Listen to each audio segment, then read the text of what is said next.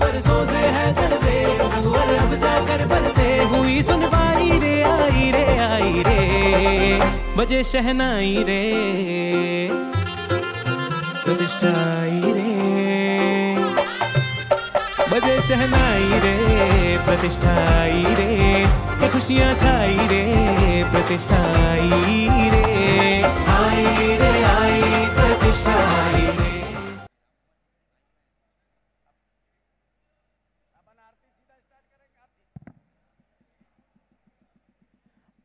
आज के आरती करता परिवार के साथ पधार रहे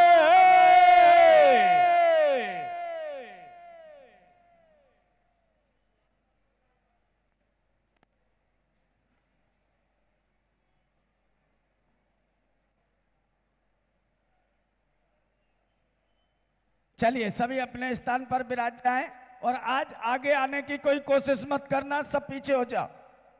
सारे लोग पीछे हो जाओ।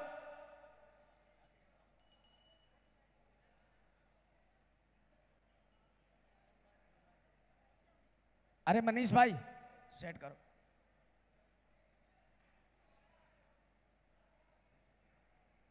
भाइयों, एक निवेदन आप सभी से मैं कर लूँ। जन्म कल्याणक के कलश के स्टॉल लग चुके हैं। जिनने बुक कराए हैं, वो भी अपने कलश ले ले। जिन्हें नए कलश चाहिए, ग्यारह हज़ार इक्यावन सौ ग्यारह हज़ार, इक्कीस हज़ार। इक्यावन हज़ार, एक लाख ग्यारह हज़ार। आपको जिस कैटेगरी के कलश चाहिए, क्योंकि कल यहाँ पर कोई भी व्यक्ति ना चूके भगवान का अभिषेक करने से।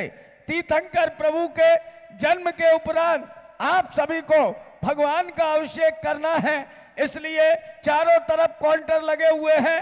आप कलश अवश्य प्राप्त कर लें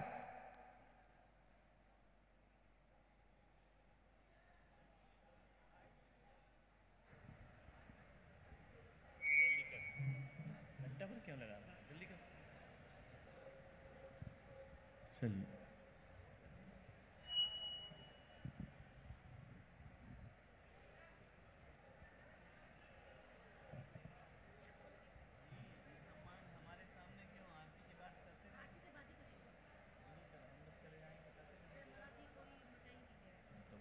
अभी आरती कैसे रोक देंगे हम्म, चलिए जय बोलिए पंच एक मिनट बहुत सुंदर यहाँ का नज़ारा है। मंच पर कोई भी अनावश्यक दिखाई ना दे जिसका स्थान है वही रहे। और जिसकी बोली है वो ही चढ़ेंगे। किसी की बोली में किसी को आके डांस नहीं करना है। वो कर सकता है जिसको हम इशारा करेंगे। बाकी लोग नहीं कर सकते। मंच हमारा स्टेज हमारा, हम जिसे चाहे चढ़ाएँ, जिसे चाहे उतारें। समझ में आ रहा? तो आज की आरती का ए, कहाँ जा रहे ओ, लंबरदार। उसका आत्मा को नीचे स्थान दो। यहाँ ध्यान रखो, कोई भी आगे नहीं आए। हमारे इन देखिए कितने सुंदर वस्त्राभूषण से सजे हुए। यह आरती यहाँ पर होने जा रही है। आप पूरे मनयोग से आपको पूरे कार्यक्रम का पूरा आनंद मिलेगा। यदि आप लोग सहयोग देंगे हमारी व्यवस्था में तो। और सहयोग नहीं दिया तो फिर शायद आपको यहाँ से उतारा भी जा सकता है। तो यहाँ पर भगवान जिनेन्द्र की आरती होने जा रही है। सभी लोग पूरा मनोयोग बना चुके हैं। यदि बना चुके हैं तो जोरदार तालियाँ बजाकर विश्वास दिलाएँ कि हम लोग भगवान की आरती के लिए तत्पर हैं। और आज मैं आपको बहुत बहुत धन्यवाद देता हूँ कि आज सभी ने पौने छः बजे भोजनशाला बंद कर दी। बहुत बहुत आशीर्वाद। सभी जैन बन गए। हमेशा जैन बने रहो। तो अब आरती का आगाज़ होता है। शब्द को सुर और सुर को साज दे रहा हूँ। शब्द को सुर और सुर को साज दे रहा हूँ। हे आरती करने वाले भक्तों, मैं तुमको आवाज़ दे रहा हूँ। आइए भाइयों, ढोल बाजे के साथ, आनंद के साथ, आज के आरती करता, परिवार के साथ, पधार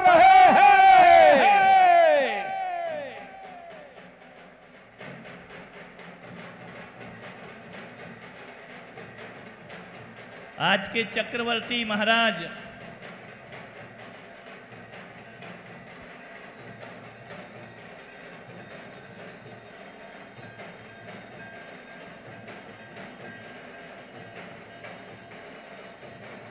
आशीष जी राखी सौगानी। मनीष नीतू सौगानी। ठौलिया कुशल जी, मधु जी ठौलिया। चक्रवर्ती बनने का सौभाग्य प्राप्त किया है। यह परिवार जिनेन्द्र भगवान की आरती करेगा। भगवान को प्रणाम कर।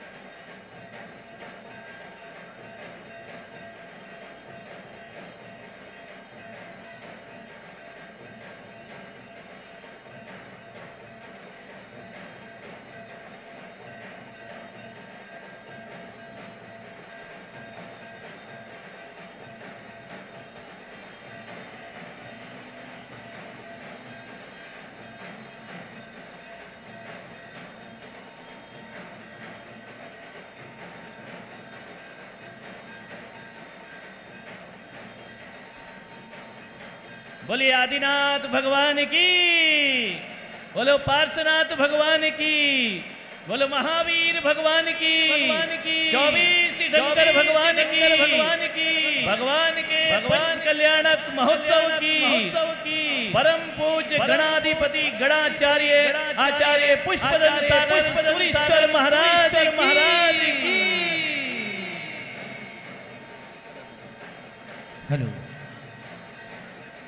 चलिए।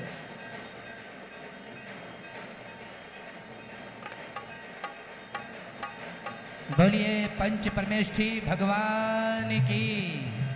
जय जय जय जय। पंच पंचकरणक प्रतिष्ठा महोत्सव की। जय जय जय।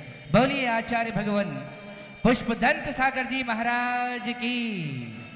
बोलिए आचार्य गुरुवर, पुलक सागर जी महाराज की। जय। जय जय जय जय जय जय। बोलिए परम पूज गुरुवर प्रणाम सागर जी महाराज की। जय जय जय। जय जगमग दीप जलाए के आरती करते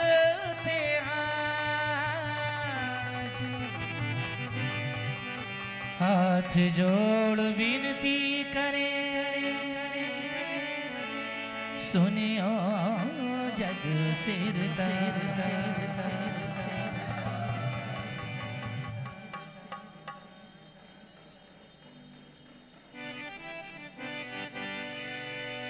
पतित बहुत पावन किए। सोगिनती कौन करे अंजन से तारे प्रभु जय जय जय, जिन दे जय जय जय, जिन दे जय जय जय।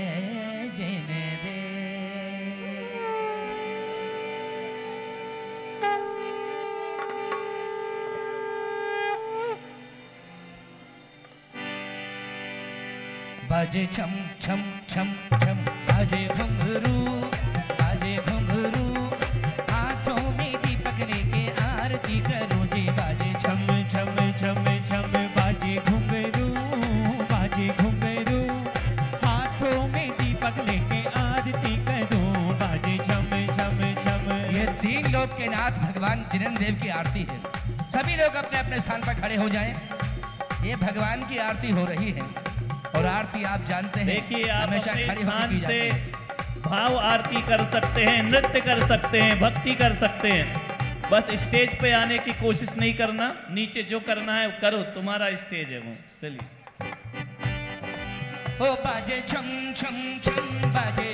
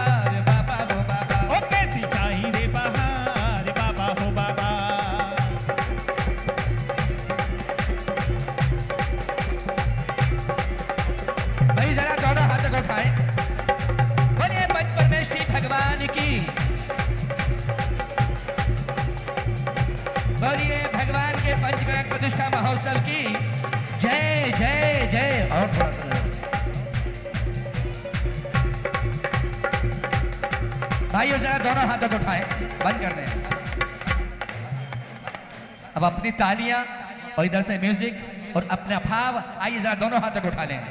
आज नील कमल जी भैया खड़े हुए यहाँ पे।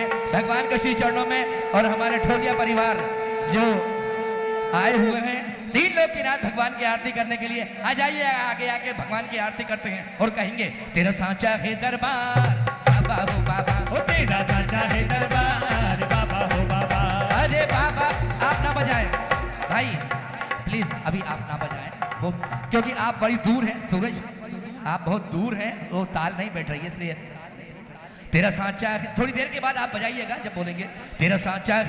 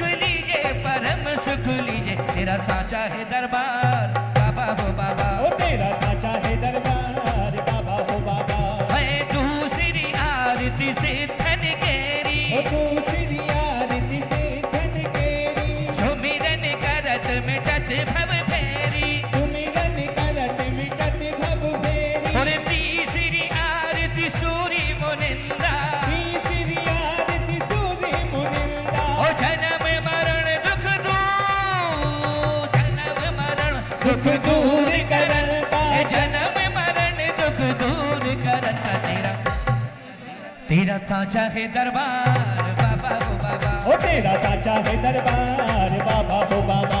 है चौथी आरती श्री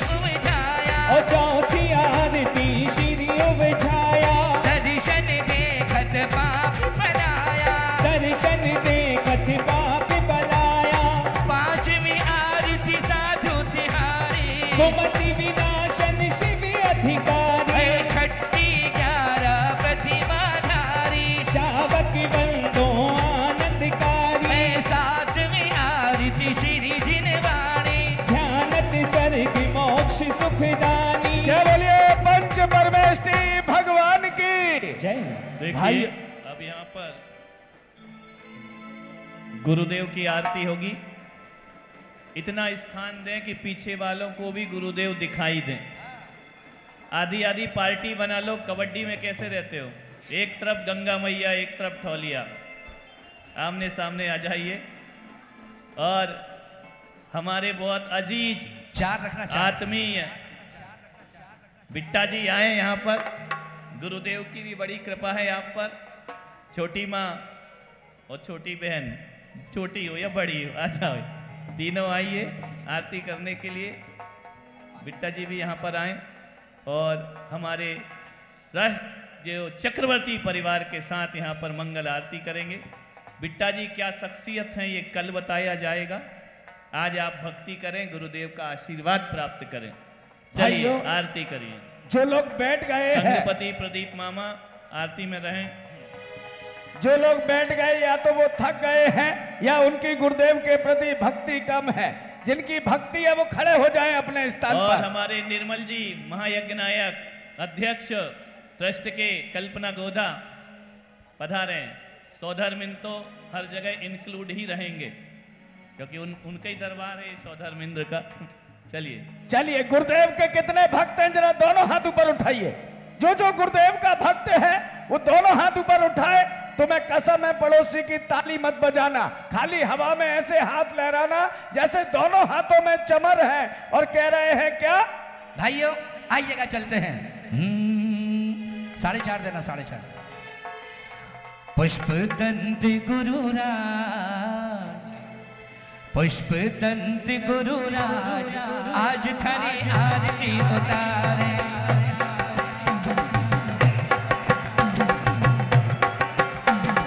पुष्प दंत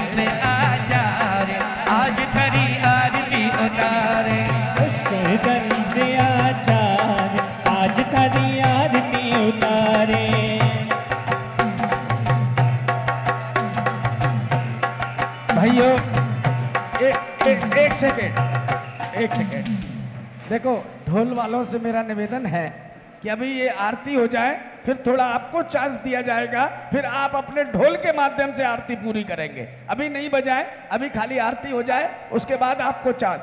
चलिए दोनों हाथ ऊपर उठाकर पुष्प दंत गुरुराज आज थारी आरती उतारे। पुष्प दंत गुरुराज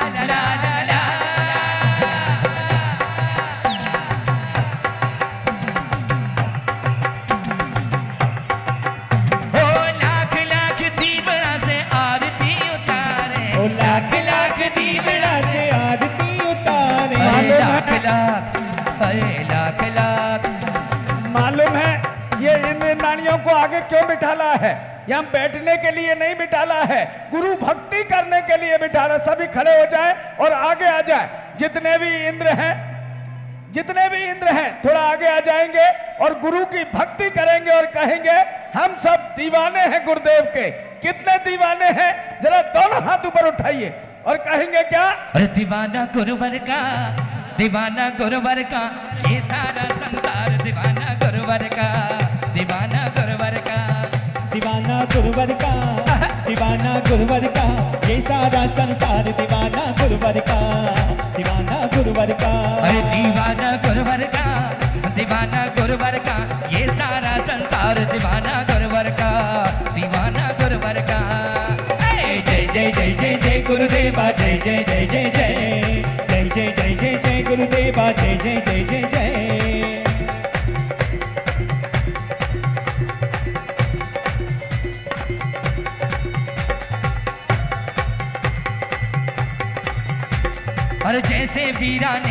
आके नगर कोई बस जाए। जैसे वीराने में आके नगर कोई बस जाए। अरे जैसे शबरी की कुटिया में रामचंद्र जी आए। ओ जैसे शबरी की कुटिया में रामचंद्र जी आए। और जैसे पतझड़ में सावन, जैसे पतझड़ में सावन। अरे रिम झिम रिम झिम गाए। मयूरा नाचे रे, मयूरा नाचे रे। शरणम आज दीवाना गुरुवर का, दीवाना गुरुवर का।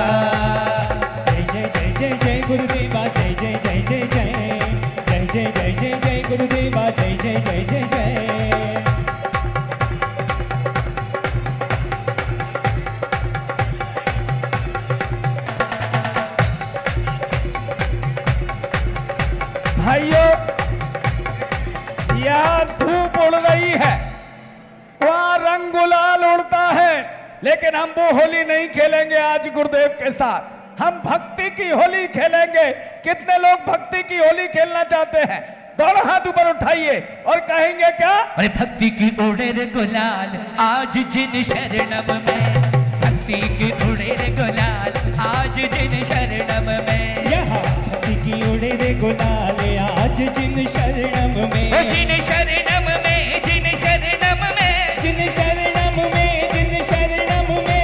भक्ति की ए भक्ति की ओ भक्ति की उड़े रे गुलाल आज जिन शरणम में।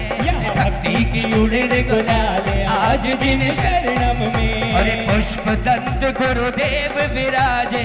पुष्प दंत जी। पुष्प दंत गुरुदेव विराजे। यह ज्ञान की उड़ाए गुलाल। आज जिन शरणम में, यह ज्ञान की उड़ाए गुलाल। आज जिन शरणम में।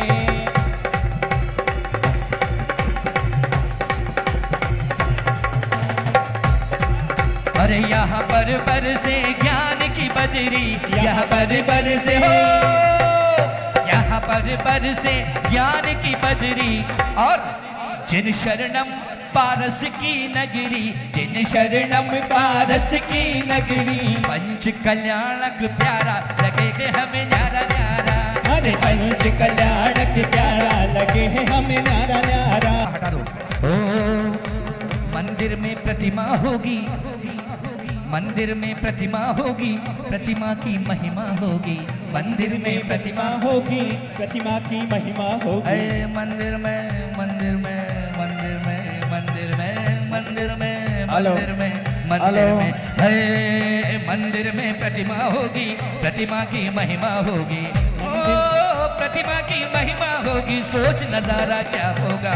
बोल जकारा जयकारा बोल जकारा जयकारा बोल जकारा चलिए एक बार निवेदन करूँगा राखी जी से और भैया जी से के पुलक सागर गुरुदेव के पास दीपक का थाल लेकर वहाँ पर पहुँचेंगे।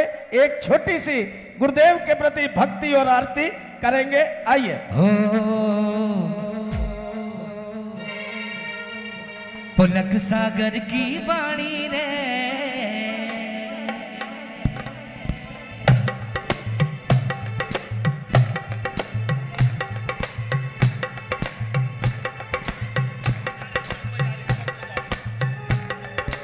है पुलक सागर की वाणी रे। भाई घड़ी ही प्यारी लागे। पुलक सागर की वाणी रे, भाई घणी ही प्यारी लागे।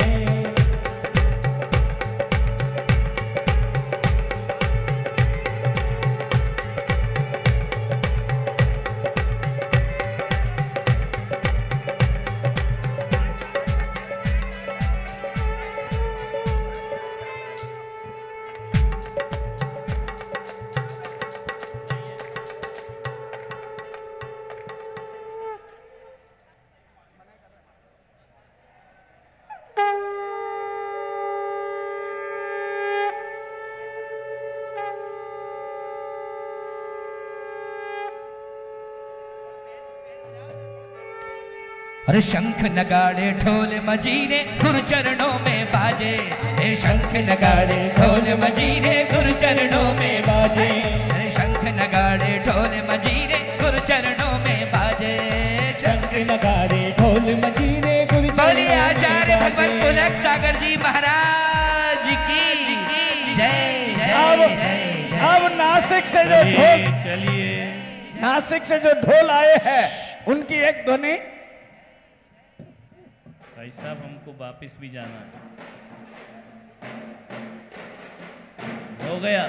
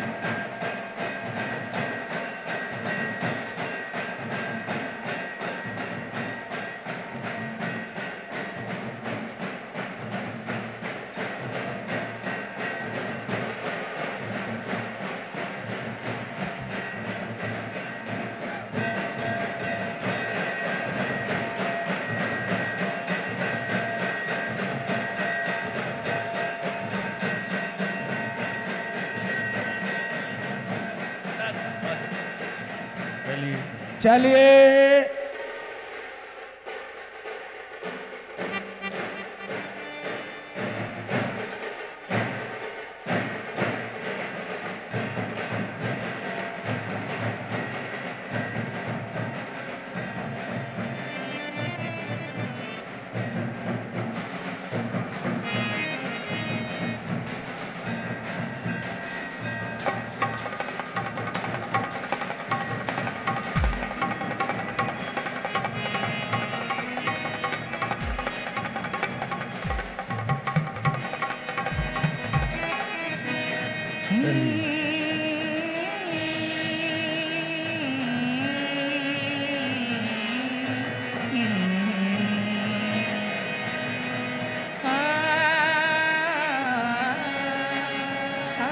चलिए बस।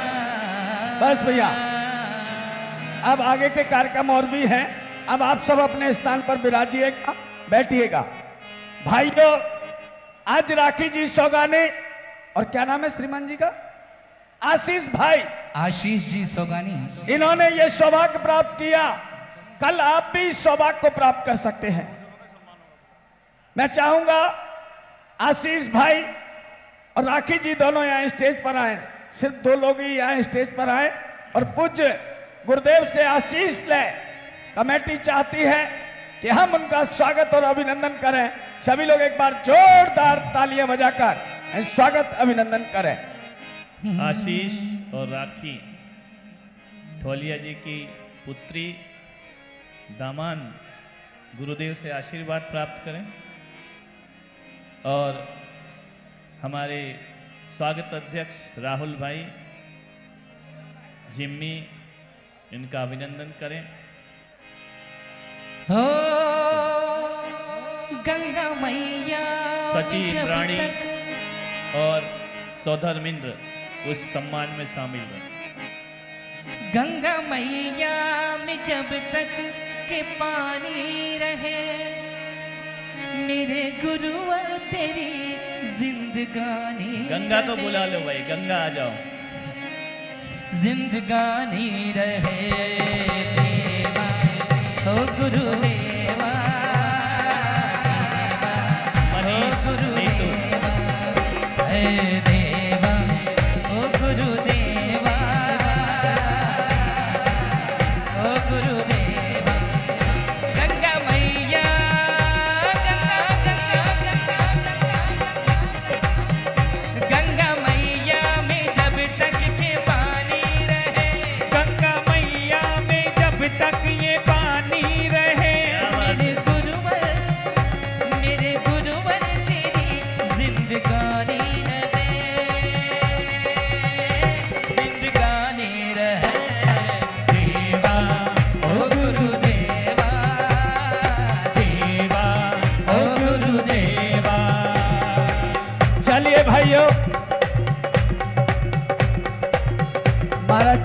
जी को जाना भी है।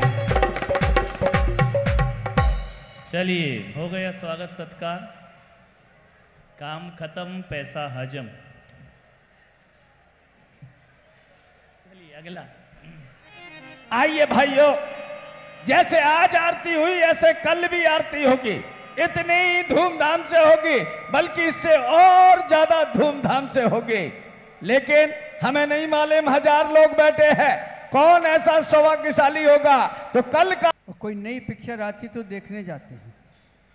नया कुछ बाज़ार में आता, उठा के लाते तो आप एक बार सिर्फ़ अपने इन हाथों में जल लेकर के भगवान के सिर पे डाल के देखिए। एक किसान जब बीज पर पानी डालता है तो हरियाली आती है, और जब एक भक्त भगवान का अभिषेक करता है तो ज़िंदगी में सम्यक्त की पुकार आती है। नियामक है। तो आप चूकिए मत। कोई बड़ी चीज़ नहीं है।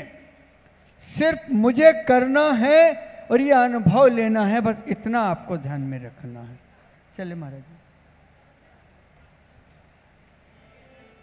देखिए, कल की इंद्रदानी सूचना सुनना है पंडित जी के द्वारा। सतीश पंडित जी कल की सूचना इन के लिए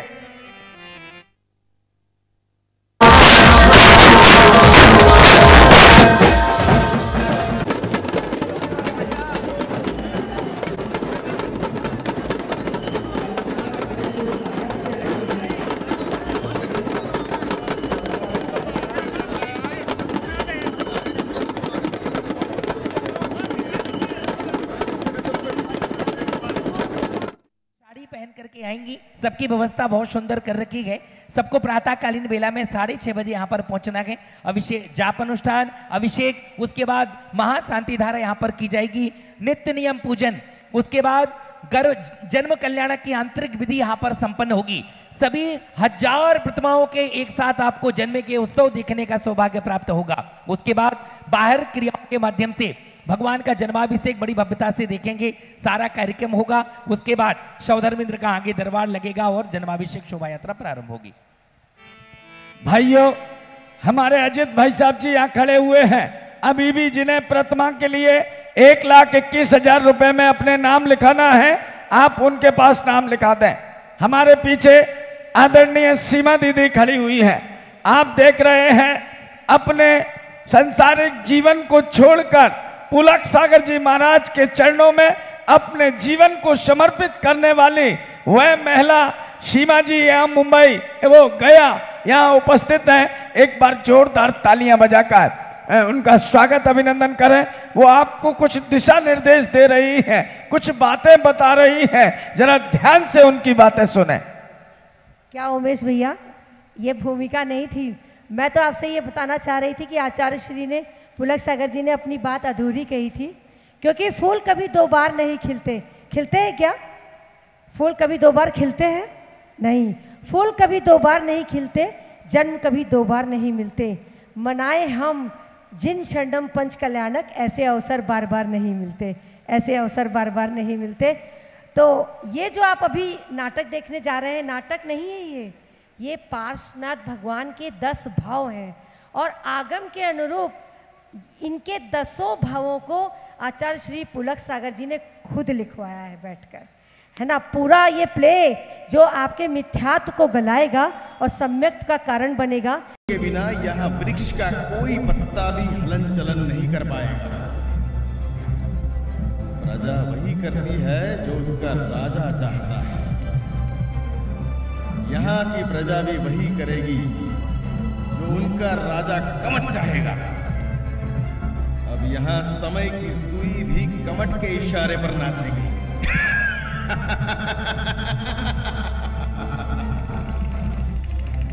कमट अपने अहंकार रूपी बादल में, धर्म के प्रकाश से दूर होने लगा और पाप में लुप्त होने लगा।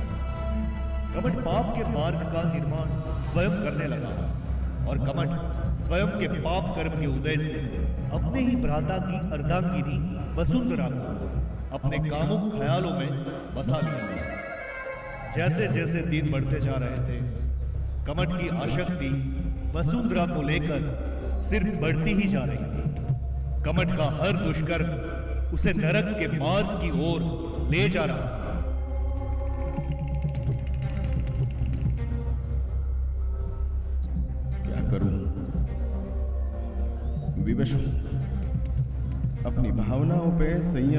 रख पा रहा हूँ। अपनी लालसा पे अंकुश नहीं लगा पा रहा कानों में सिर्फ़ वसुंधरा वसुंधरा नाम की ही ध्वनि सुनाई देती है। अपने अपने नेत्र बंद करता हूँ तो वसुंधरा का सुंदर और सुडोल शरीर ही दिखाई देता है। ऐसा लगता है कि उसके सुंदर शरीर का स्पर्श करो। उसके गुलाब के फूल जैसे खूबसूरत देह को गुलाब की पंखुड़ियों की तरह एक एक करके खोलता जाऊँ मैं वसुंधरा के गुलाब जैसे शरीर को गुलाब जल की भांति ग्रहण करना चाहता था। कमट भूल गया था कि देह की काम वासना न सिर्फ़ देह को खत्म करती है, बल्कि काम वासना एक ऐसी अग्नि है जिस पे लालसा की हवा लगती है तो उसे सिर्फ़ बढ़ावा ही मिलता है। और जहाँ काम की वासना वास करती है, वहाँ धर्म और बुद्धि कभी वास नहीं करती। कमट शीघ्र ही कामवाणी से पीड़ित हो उठा और अपनी वेदना को सहन करने की असमर्थता उसे साफ़ दिखाई दे रही थी। समय बीत रहा था और अपनी काम वासना के चलते कमट खर्च हुआ जा रहा था। हे मित्र तुम्हारी अवस्था देख के मन घबरा रहा है। सब उचित तो है। कुछ उचित नहीं है, कलहंस। मन जिसे पा नहीं सकता, उसकी चेष्टा कर बैठा है। सिर्फ़ तिथि बदल रही है। लेकिन मन की अवस्था नहीं। दिन से रात्रि हो जाती है और रात्रि से दिन। लेकिन उसका विचार मस्तिष्क में घर कर चुका है। मित्र कमट ऐसा क्या हो गया जो तुम्हें इतनी वेदना दे रहा है? मेरा ये देह प्यार पाने के लिए तप रहा है। मेरा ये देह मेरे भ्राता मरुभूति की अर्धांगिनी वसुंधरा को पा लेना चाहता है। मैं मैं कुंठित हो चुका हूँ। ये क्या अनर्गल कहे जा रहे हो तुम कमट तुम्हें ज्ञात है कि तुम्हारे से निकली ये वाणी तुम्हें पाप के दलदल में सदैव के लिए जकड़ लेगी भला कौन अपनी पुत्री समान, अपने अनुज की फूल वधु के लिए ऐसे आपत्तिजनक विचार लाता है? इस विचार को भूल जाना चाहिए, अथवा कदापि इसे अपने मस्तिष्क में जगह नहीं देनी चाहिए। ये नींदनीय है, अयोग्य है। जो पराई स्त्री का सेवन करते हैं, उन्हें नरक में स्थान मिलता है। फिर तो अपने ही अनुज की पत्नी। यह तो महापाप है। तुम्हें तो नरक में भी स्थान नहीं मिलेगा। जब रावण जैसा महाज्ञानी किसी पर स्त्री की अभिलाषा मात्र से नष्ट होकर नरक चला गया, क्या तुम जैसा पृथ्वी का साधारण मनुष्य नष्ट नहीं होगा? अरे, तू उसका पिता तुल्य ज्येष्ठ है। क्या तुम्हें इस विचार मात्र से सूक्ष्म सी लज्जा भी नहीं आई? होके सदैव साथ देने के वचन को निभा लें अन्यथा अपने इस परम मित्र कमट को मृत्यु की आग में खाक होता देख लें। क्योंकि मेरा वसुंधरा से मिलन नहीं हुआ तो मैं, मेरी मृत्यु निश्चित है।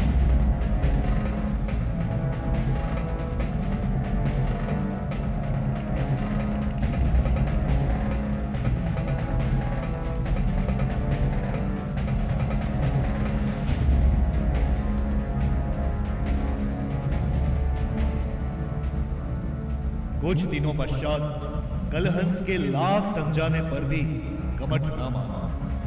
कलहंस की सलाह और कमट की काम वासना में जीत कमट की वासना की हुई। एक समय आता है जब मनुष्य को सद्बुद्धि या दुर्बुद्धि में से किसी एक को चुनना पड़ता है।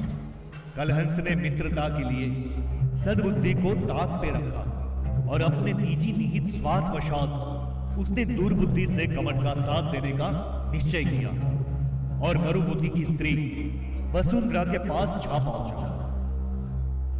हे सुंदरी वन में कमट अस्वस्थ है। कोई देखभाल करने को भी अपना नहीं है। क्या हो गया हमारे ज्येष्ठ जी को? वो ठीक तो है? कई रोगों ने उन्हें हर दिशा से घेर लिया है। उनका स्वास्थ्य गिरता जा रहा है। कई दिनों से जब हाल चाल नहीं मिला तो मैं स्वयं कमठ को ढूँढने निकल पड़ा और पाया कि वो वन में अति गंभीर स्थिति में अपने दिन गुजार रहा है। अथवा ऐसी स्थिति में उन्हें मित्र से ज़्यादा एक परिवार की आवश्यकता है। आप शीघ्र, अति शीघ्र कमट तक पहुंचिए अथवा हर संभव सहायता कीजिए। एक दिन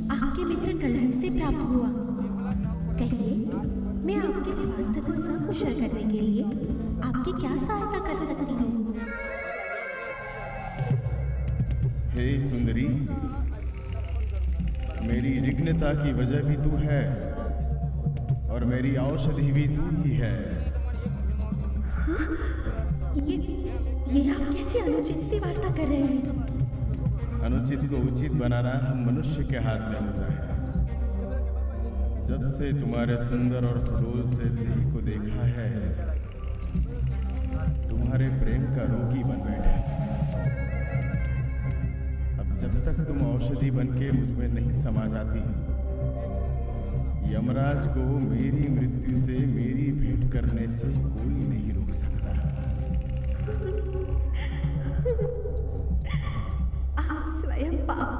बनके और मुझसे ऐसी बातें करके मुझे नरक का रास्ता न दिखाएँ। मैं आपके अनुज भ्राता की अर्धांगिनी हूँ।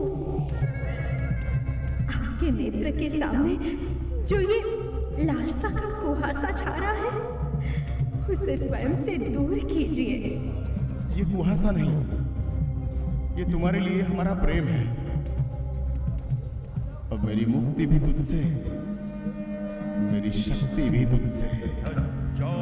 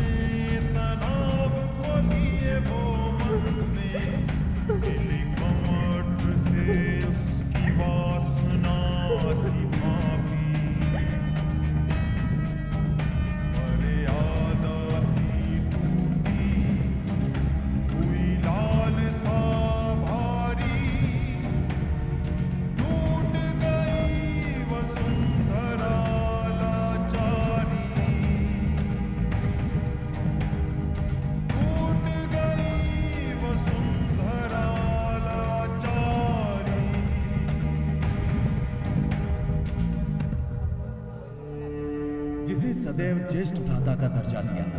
आज उन्होंने ऐसा कुकर्म करके कमठ ने खुद को सदैव के लिए दूषित कर दिया।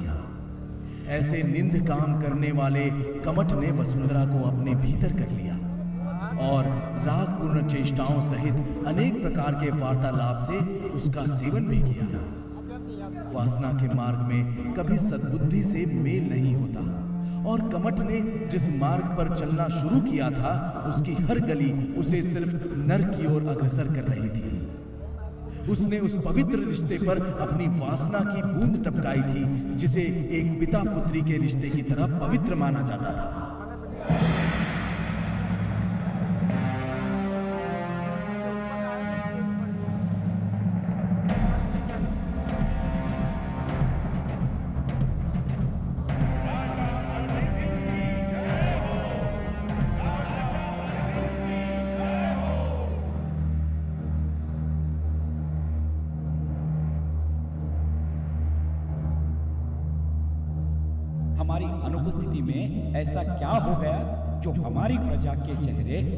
लटके हुए हैं, खुलकर सारे विचार व्यक्त करने वाली प्रजा।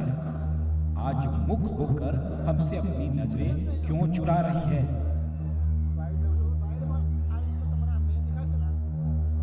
आप ज्येष्ठ इस समाज के वृद्ध हैं।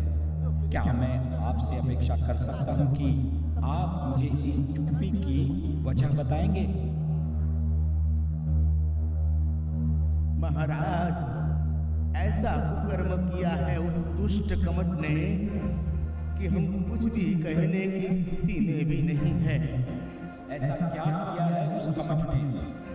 अपने ही भ्राता हमारे मंत्री मरुभूति की अर्धांगिनी वसुंधरा के साथ उसने अपनी वासना का घिनौना खेल खेला है। ये सुनकर हमारा दिल लज्जा से भर गया। है ऐसा कर्म करते हुए उसे तनिक भी लज्जा नहीं आई। उसकी इस निर्लजता के लिए उसे ऐसी अग्नि में झोंका जाए जिसे कोई जल बुझा ना सके। उसे ऐसी कोई खाई में डाला जाए जहाँ से वापस आना उसके लिए असंभव हो। उसे ऐसी स्थिति में पहुँचाया जाए जहाँ उसकी बुद्धि की तरफ़ वह भी अकड़ जाए। लेकिन उसे सजा देने का हक मरुभूति के पास होना चाहिए। मरुभूति, तुम्हारी अर्धांगिनी के साथ ऐसे दुष्ट कर्म करने पर उस दुष्ट कमठ को क्या दंड दिया जाए? महाराज, ज्ञात है मुझे कि नीच कोटि का कुकर्म किया है कमठ ने। यद्यपि वो मेरा भ्राता है, किंतु मन क्रोधित हो रहा है। फिर भी आपसे हाथ जोड़कर विनती करता हूँ कि उस पे कृपा बरसाए और दंडित मत कीजिए। ये समय स्नेह का नहीं है मरुभूति न्याय करने का है। कर्म करने वालों को दंडित नहीं करेंगे तो प्रजा के साथ अन्याय होगा। और राजा अरविंद न्याय करने वालों के साथ न्याय से पेश आते हैं। और अन्याय करने वालों के साथ अन्याय से। स्वयं नीति के क्या हो? क्या तुम्हें नहीं पता है? दंडनीय को दंड मिलना चाहिए और वंदनीय की वंदना होनी चाहिए। खेद नहीं करो, शीघ्र ही घर जाओ। जैसी आपकी आज्ञा महाराज। इस कुकर्म के लिए उस नीच कमठ को देश निकाल दिया जाए। अथवा कड़ी से कड़ी सजा दी जाए, जो प्रजा के लिए एक उदाहरण बने। और कोई ऐसे दुष्ट कर्म को स्वप्न में भी करने का साहस ना दिखा पाए।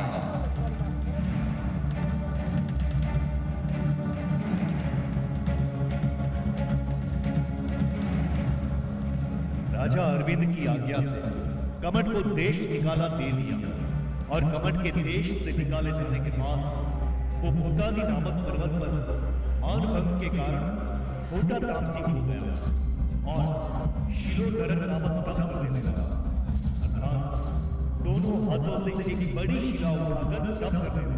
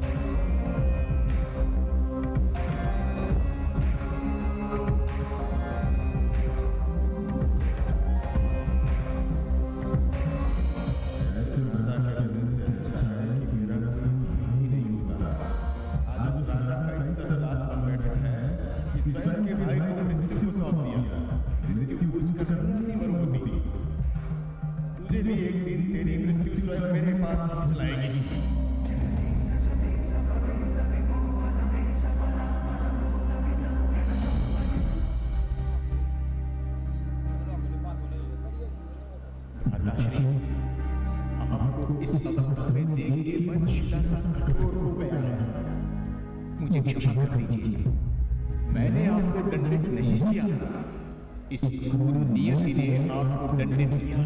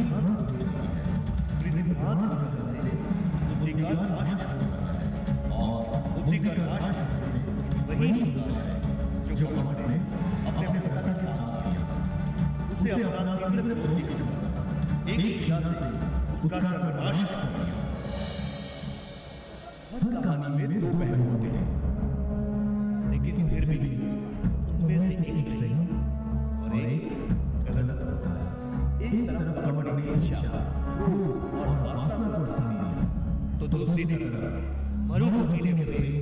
सद्भाव भ्राता प्रेम और निष्ठा को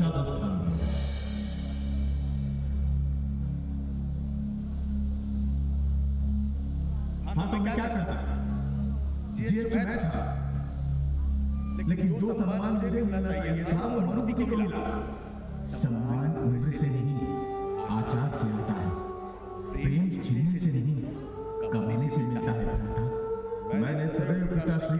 करी राजा के करीब रहने की कोशिश की। उनकी आज्ञा के पालन की कोशिश की। फिर भी जो मैंने चाहा वो सब मुझे मिला। क्योंकि मैंने पिताश्री की सेवा बिना किसी रोक के की। मैंने राजा के संदेश को समझा।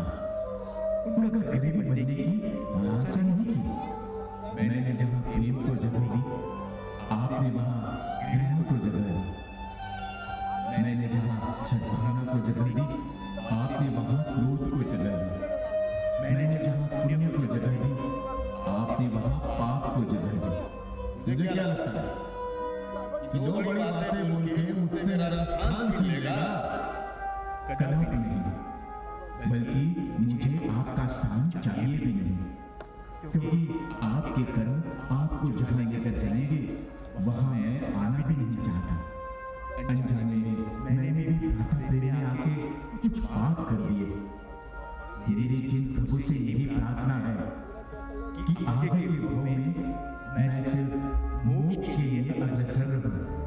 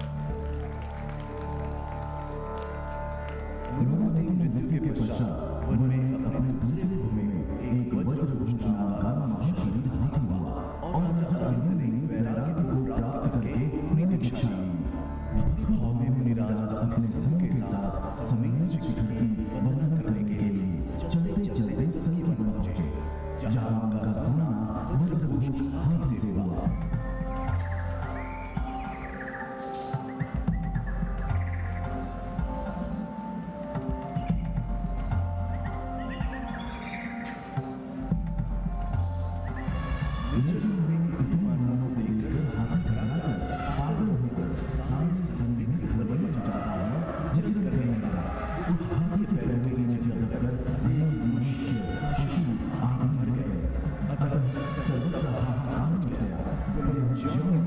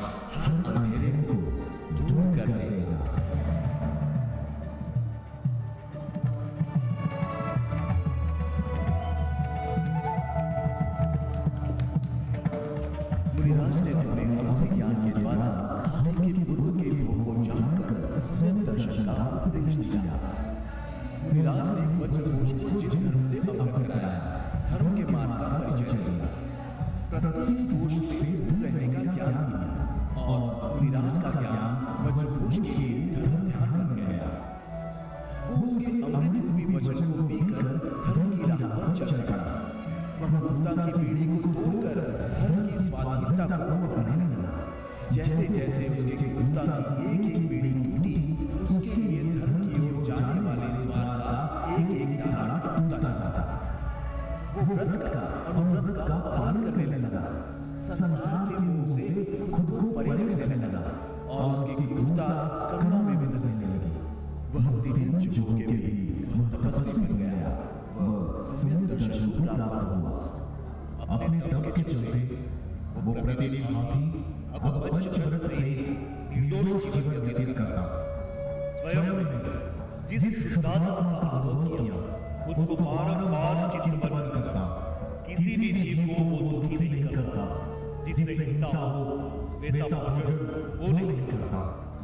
शांत भाव से रहकर सूखे हुए घास पत्ते पे फल खाता। किसी समय उपवास नहीं करता। चलते समय देख देख कर पाप करता अधनियों का संग उसने त्याग दिया। विशाल काय होने के कारण अन्य जीव को दुख नहीं पहुँचे। इसीलिए अपने शरीर को अधिक चलाता नहीं।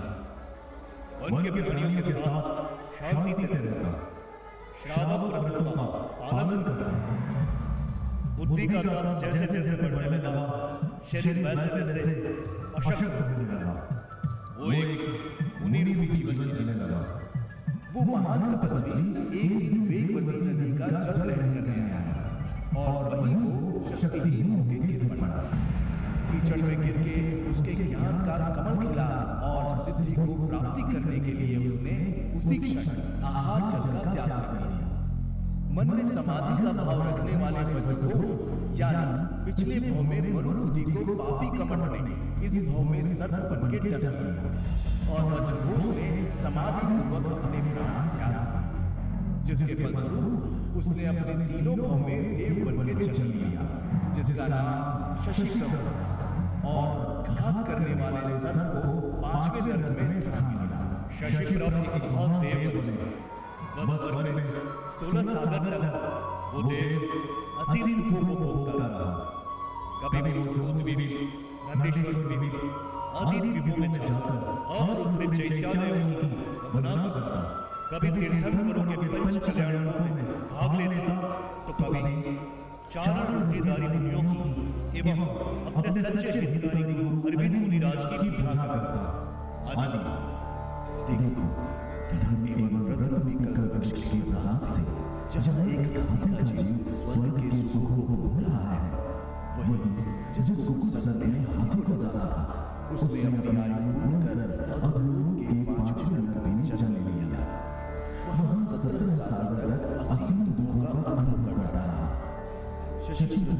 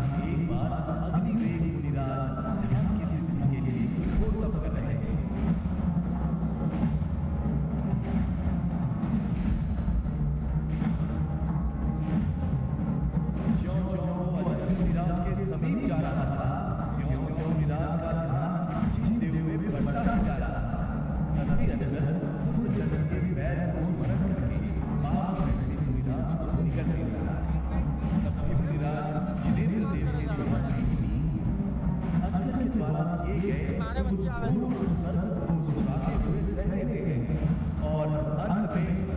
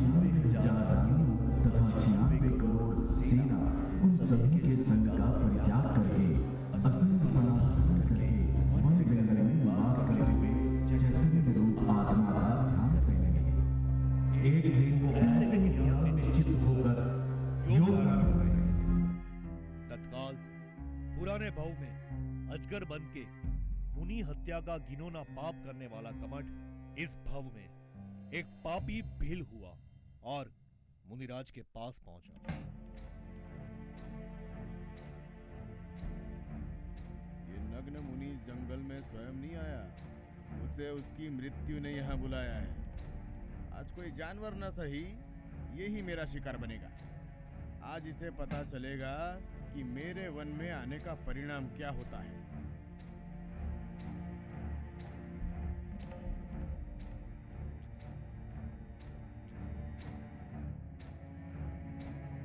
अच्छा तुझे इसकी पीड़ा का भी कोई असर नहीं। कोई बात नहीं। तुझे मारने के मेरे पास और भी कई तरीके हैं।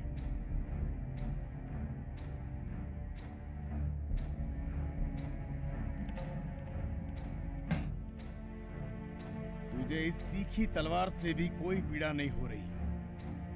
भील एक बहुत बड़े पेड़ को मुनिराज पे गिरा देता है। जिसका भी उनको कोई असर नहीं होता। और फिर वो एक के बाद एक नुकीले बाण मुनिराज पे चलाता है। लेकिन फिर भी वो मुनिराज का ध्यान नहीं तोड़ पाता। अमृत रूपी ध्यान में लीन मुनि का ध्यान न ताड़न, न भेदन, न वध, न बंधन, और ना ही उसका तीव्र क्रोध तोड़ पाया।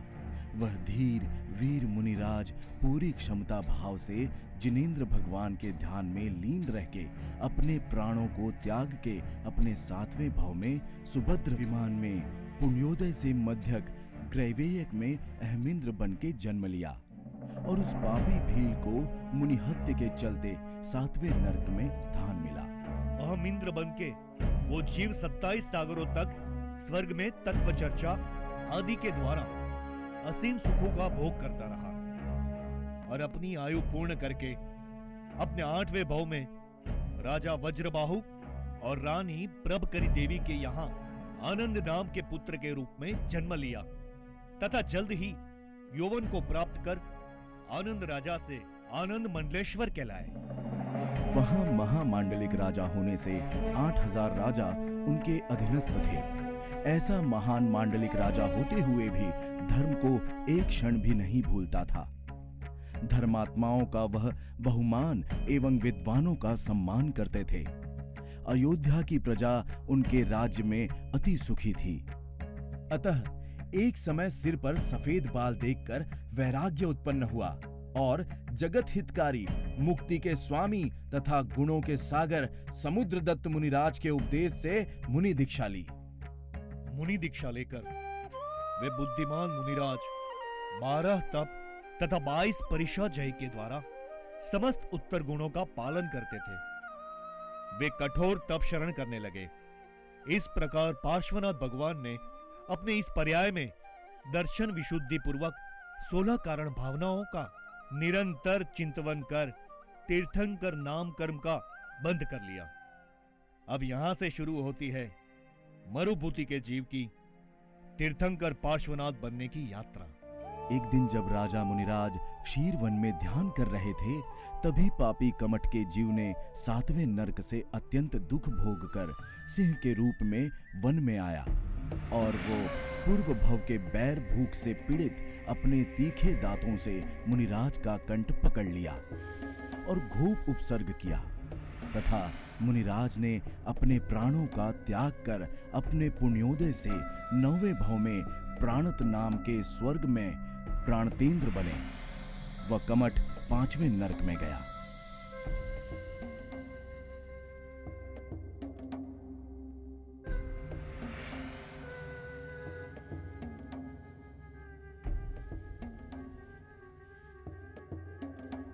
इस प्रकार कमट का जीव कई बार नरक में जाकर, कई सहस्त्र सागर आयु तक बार बार अनंत दुखों को भोगता रहा। वो जीव अनंत मुहूर्त में निंदनीय पूर्ण शरीर प्राप्त कर, वो एक हज़ार बिच्छुओं के स्पर्श से भी अधिक वेदना देने वाली पृथ्वी तल पर, पैर ऊपर और मुख नीचे की ओर रहकर गिर पड़ता। वह अनेकों बार वह जीव 500 योजन उछलकर जैसे ही पृथ्वी पर गिरता, उसका शरीर आटे के समान बिखर जाता, एवं अत्यंत दुख को प्राप्त होता। वह पृथ्वी अत्यंत दुर्गंधित तथा ग्लानि से युक्त थी, जहाँ चबी, खून और कीड़ों की कीचड़ विद्यमान थी। कोई नारकी इस जीवन की हड्डियों को चूर चूर करते तो कोई बैर के कारण हर्षपूर्वक नेत्र उपाड़ रहे थे। कोई दुष्ट दांतों के समूह से आतों की पंक्तियों को तोड़ रहे थे तो कोई दुष्ट नारकी हाथों और पैरों के द्वारा उसे बड़े बड़े कलशों में खौलाते थे। कोई मदिरापान संबंधी पाप के उदय से संडासियों से उसका मुख फाड़कर उसमें जलाता हुआ तांबे का रस डालते। तो कोई नारकी मांस भक्षण से उत्पन्न पाप के कारण उसके शरीर संबंधी मांस को तिल तिल के बराबर खंड खंड कर खाते थे। कोई परस्त्री के संगम से उत्पन्न पाप के कारण संतप्त लोहे की पुतलियों से उसका बलपूर्वक आलिंगन कराते थे। अत्यंत दुखों को भोग कर वो जीव इस प्रकार सोचने लगता, मैं कौन हूँ? और किस कर्म के द्वारा यहाँ आया हूँ? दुखदायक स्पर्श वाली ये पृथ्वी कौन सी है? अरे मैं कहाँ जाऊँ? क्या करूँ? किसकी शरण ग्रहण करूँ? अरे रे, पूर्व के महापाप से मैं इस नरक में आ गिरा। यहाँ की दुर्गंध तो सहन नहीं होती। सारा शरीर अति शीत से जमकर शून्य होता जा रहा है। इस नरक के कुएँ में से कब मुक्त होऊँगा?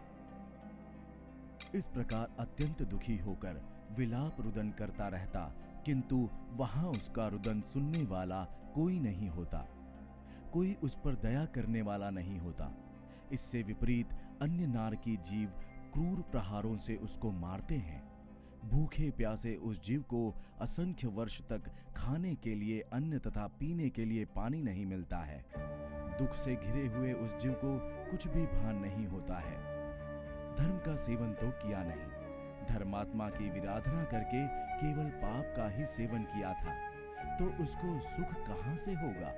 मरुभूति ने अपने पुण्योदय से, कभी वज्र घोष गजराज तो कभी शशि प्रभदेव कभी मुनि अग्निवेग तो कभी विद्युत प्रभदेव, कभी चक्रवर्ती वज्रनाभि तो कभी अहमिंद्र, कभी आनंद मंडलेश्वर तो कभी अनंत स्वर्ग में आनतेंद्र बनकर जन्म लिया और मोक्ष महल की हर एक सीढ़ी को पकड़ते हुए आगे बढ़ते गए। तो कमठ ने अपने पाप उदय से सभी सर्ग तो कभी पांचवा नर्क, कभी अजगर तो कभी छठा नर्क कभी भील तो कभी सातवां नर्क कभी क्रूर सिंह तो कभी पांचवा नर्क के कीचड़ के दलदल में जगड़ता ही चला गया और नीचे गिरता ही चला गया। बैर के भी कई रूप होते हैं। कुल द्रोही होना अलग चीज़ है। सामान्य जन से बैर अलग चीज़ होती है। पर जो भ्रात बैर, कुल बैर होता है, वो सात भव तक जाता है। देखा दो भाइयों की दुश्मनी का परिणाम। इसीलिए अपने कुल और वंश से कभी बैर नहीं करना चाहिए।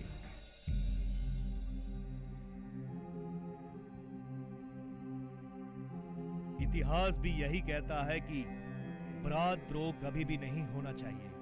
अन्यथा, उसके परिणाम बहुत विषम होते हैं। जैसे विभीषण रावण, जैसे कौरव पांडव। आजकल के कई उदाहरण ले लीजिए। अंबानी बंधुओं की लड़ाई प्रमोद महाजन, प्रवीण महाजन, भाई भाई के दुश्मन। स्वयं के भाई ने ही गोली मार दी। ये सब खून का विद्रोह है। जैन दर्शन ये कहता है कि घर की ये लड़ाई हमें कई भाव तक परेशान करती है। अतः इस पाप को मत करिए। जिस रिश्ते में प्यार, सम्मान और समझ होनी चाहिए, उस रिश्ते में विद्रोह, घृणा और बदला लेने की भावना होना सब खत्म कर देता है। जो बचपन में तुम्हारी खुशी की वजह था, वो बड़े होते ही आंसुओं की वजह क्यों बनता जाता है? जो बचपन में अपना आधा हिस्सा भी देने को तैयार था, वो बड़ा होते ही दूसरे का आधा हिस्सा छीनने पर क्यों आतुर हो जाता है? ये सब बैर भावना से होता है, जो समय के साथ सिर्फ़ बढ़ती जाती है। जरा सोचिए, दस भव तो महापुरुषों के बैर ने ले लिए। हमारा तो पता नहीं कितने भव तक चलेगा। देखो तो सही बंधुओं अपना जैन धर्म कितना महान है कि उसके सेवन से पशु भी आत्मज्ञान प्राप्त करके परमात्मा बन सकता है।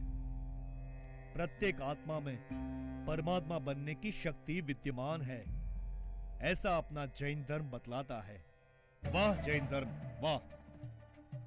अगर आप में से किसी का भी अपने भाई से बैर है तो आज ही क्षमा मांगकर दूर कीजिए। जिस प्रकार भरत ने जब तक बाहुबली से क्षमा नहीं मांग ली, तब तक उन्हें भी मोक्ष नहीं मिला। इसलिए कुलद्रोह भाई भाई से दुश्मनी मत कीजिए, वरना भगवान भी उस दुश्मनी से बचा नहीं सकते और ना बच सकते हैं। अब यहाँ से शुरू होती है मरुभूति के जीव की तीर्थंकर पार्श्वनाथ बनने की यात्रा, जो आप लोग इस पंच कल्याणक के माध्यम से मरुभूति के दसवें भव के रूप में देख रहे हैं। बोलो पार्श्वनाथ भगवान की जय।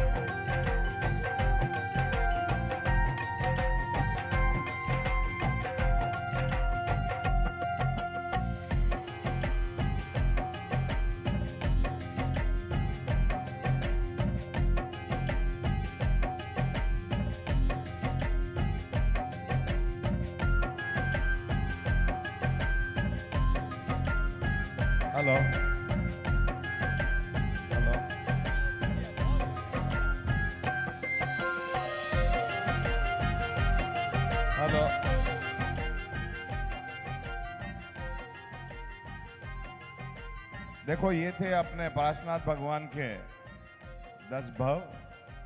अब कल पंच कल्याणक हैं। सब कार्य, पूजा वगैरह सब जो है, नित्य नियम से चलेगी। सुबह साढ़े छः बजे आपको आना है, उसके बाद में सात बजे पूजा, शांति धारा वगैरह सब होगा। उसके बाद में सवेरे वही जन्म कल्याण का कार्यक्रम रहेगा। कृपया आप समय से ही सब चीज़ें चलेगी। आप अभी देखो घड़ी में नौ बज के पाँच मिनट में हो रहे हैं। वही राइट टाइम पे छः बजे भोजनशाला ख़त्म, साढ़े छः बजे आपकी यहाँ पे शोभा यात्रा साढ़े सात बजे आपकी आरती ख़त्म, आठ बजे प्रोग्राम चालू और नौ बजे आपका प्रोग्राम ख़त्म। सवेरे टाइम का आप ज़रूर ध्यान रखें। हमारे पुजारी जी हैं, आपको सब इसकी जानकारी देंगे। जन कल्याणक का भी उत्सव जो है, बहुत अच्छे से तैयारी की है। कृपया आप सभी समय पर तैयार होकर आए। इंद्र इंद्राणी एक बार पुजारी जी कुछ कहना चाहें। पंडित जी बोलिए।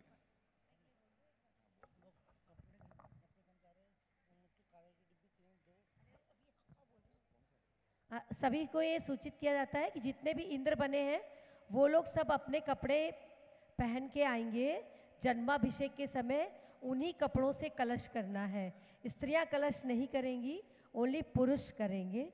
और जो कपड़े उनको दिए गए हैं उसमें ही करना है। और जिनके पास कपड़े नहीं है, जिन्होंने सिर्फ़ कलश लिए हैं, उनको कपड़े दिए जाएँगे, जिसमें उनको कलश करना है। तो सभी अपनी कलश की बुकिंग करा के कपड़े प्राप्त कर लें। धन्यवाद। हाँ फिर से एक बार सूचित कर रही हूँ कि जन्माभिषेक के लिए स्त्रियों को अनुमति नहीं है, स्त्रियाँ नहीं करेंगी, ओनली पुरुष वर्क करेंगे। ठीक है? जो आज जन्म कल्याणक के अपने कपड़े नहीं पहने हैं, वही कल पहने, कपड़े पहन के आने हैं, वही लहंगे में आना सभी को। जितने भी इंद्र इंद्राणी सभी के पास लेंगे, जन्म कल्याणक में आपको लहंगे वाली ड्रेस पहन के आनी है। जय जिनेन्द्र, मिलते हैं कल सुबह। जय जिनेन्द्र।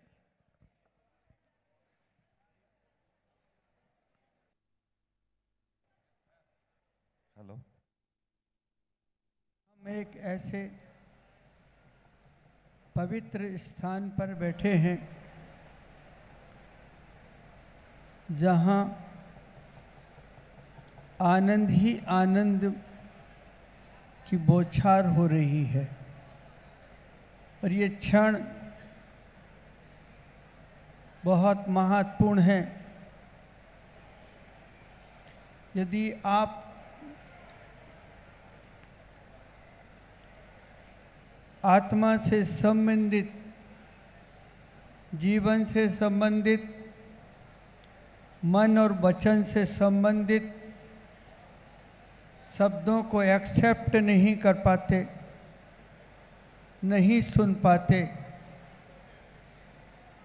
तो आप अपनी ज़िंदगी की सबसे बड़ी भूल कर रहे हैं।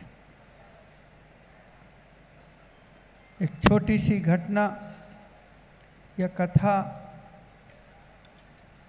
आपके सामने रख रहा हूँ, ज़्यादा समय की नहीं है, लेकिन है। एक यात्री यात्रा पर निकला। वस्तुतः अगर देखा जाए, हमारी ज़िंदगी बी से लेकर डी तक है। और एक सम्यक दृष्टि की ज़िंदगी बी से लेकर के नी तक है। जन्म से लेकर के मरण तक और जन्म से लेकर निर्वाण तक। अब हम अपनी लाइफ को कैसे जीते हैं? हम क्या चयन करते हैं? किन वस्तुओं के साथ अपना लगाव रखते हैं? यह हमारे मन और आत्मा के ऊपर निर्भर करता है। अगर तुम्हारे पास कहीं दुख है तो आप हमेशा कहते हैं कि उसके कारण से है। बस ये तुम्हारी ज़िंदगी की सबसे बड़ी भूल है। दुख बाहर से नहीं, भीतर से पैदा होता है। तो कहानी छोटी सी है, उसे समझ लीजिए कि आप कहाँ मिस्टेक कर रहे हैं। एक व्यक्ति यात्रा पर निकला है। दोपहर का समय है। बगीचा सामने है। उसकी नज़र पड़ जाती है बगीचे की ओर। बड़े दिल से देखता है, सोचता है। कितना बढ़िया सुंदर बगीचा है। वृक्ष में मधुर मधुर सुगंधित आम लटक रहे हैं। ऐसे आम मैंने कहीं देखे नहीं। ऐसी सुगंध कभी मिली नहीं। आज मैं कहाँ से आ गया स्वर्ग में? क्या आज प्रकृति ने अपना परिवर्तन बदल दिया? क्या मैं कहीं स्वर्ग देख रहा हूँ? या कहीं भोग भूमि में पहुँच गया हूँ? ये सब क्या हो रहा है? ये क्या दिख रहा है?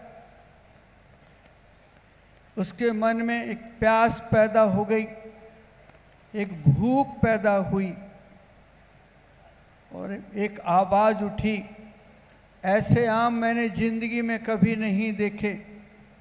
काश ये आम मुझे मिल जाए तो धीरे से एक आवाज़ मिलती है, अपने कदम बढ़ाओ, आगे जाओ। वो आगे चलता है, पेड़ के निकट पहुँच जाता है। देखता है लाऊं कैसे ऐसे फिर उसे एहसास होता है, मेरे पास हाथ है, पाँव चल चुका है, मैं अगर ऐसे पकड़ करके चढ़ जाऊँ तो ये आम मुझे मिल जाएँगे। पकड़ कर कि वो फिर पेड़ पर चढ़ता है, आनंदित हो जाता है। इतने मधुर, इतनी सुगंध कहीं मैं स्वर्ग में तो नहीं हूँ। फिर आवाज़ होती है, तोड़ लीजिए। वो आम को तोड़ लेता है, फिर सोचता है कि एक में क्या होगा। तो मन आवाज़ देता है, जितने तोड़ना है उतने ही तोड़ लीजिए।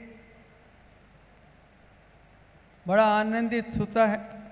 एक आम जैसे ही हाथ में लेता है तो हाथ को जरा भी शर्म नहीं लगती। एकदम से वो अपने मुँह के पास ले जाता है। फिर सोचता है कि कैसे खाऊं? तो जिब्भा अपने आप बाहर निकलती है। खाना शुरू करता है। खाने के समय इतना मग्न हो जाता है कि ऐसे मधुर आम, ऐसा बगीचा, ऐसा रूप और रंग, ऐसी मधुर आभाएँ किसने बसाया होगा?